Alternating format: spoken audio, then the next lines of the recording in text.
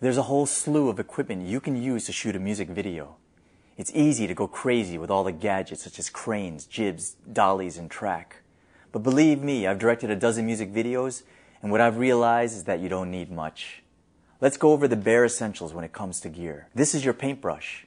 Thankfully, we're at a point in time where people will watch a cool music video regardless of what format it was shot on.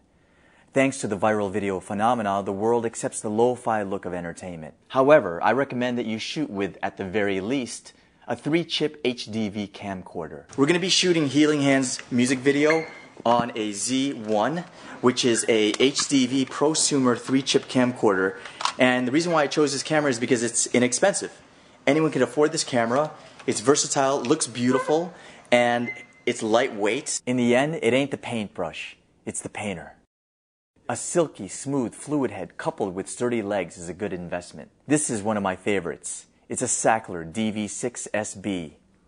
Using a tripod greatly increases your music video's production value. If you're shooting indoors in a dark space, I recommend that you have at the very least one bright light to ensure you have good exposure. Okay, one of my favorite lights in the world is called a Lowell Rifa light. This light rocks. Why? Because it sheds a gorgeous, soft, even light on the space and the face. I'm talking top shelf portrait diffused lighting. Everyone looks fantastic in front of a softbox. I've used it virtually in all of my music videos. You simply can't go wrong with this type of light.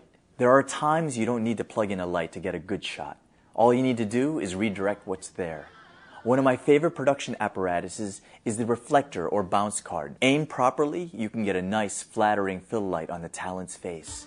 Not only that, you can add a sparkle in their eyes. Back in the day, I used to use a boombox with a CD with the music on the CD and lots and lots of batteries. Times have changed. We have MP3 players now. So what I did was I imported the song into an MP3 player, brought along a self-powered monitor, and make sure that you have the right adapters and plugs, and playing back is that easy. One way to make your music video look really expensive is to find tools to make your camera glide or float. In film language, it's called craning or jibbing or dollying the camera.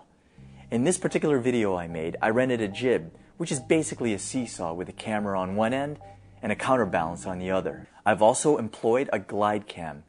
This steadies the camera nicely, giving the music video a pro look. Another method I use is my inline skates. I love to rollerblade, so I slipped on my skates and performed some very effective tracking shots.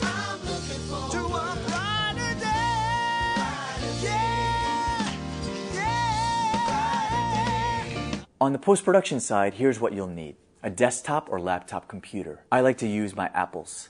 I've been known to edit music videos both at home and on the road. You will need a non-linear editing software. And my software of choice is Final Cut Pro. But of course, you're more than welcome to use others such as Avid or Sony Vegas. You should also have a good quality external hard drive that uses FireWire 400 or 800 cable. You're editing media, so you want a fast drive. I like to use a LaCie Rugged because you don't have to plug it in. It draws power through the computer and it's portable. And there you have it, the basic gear needed to make a music video. Up next, I'll talk about where you can shoot your opus.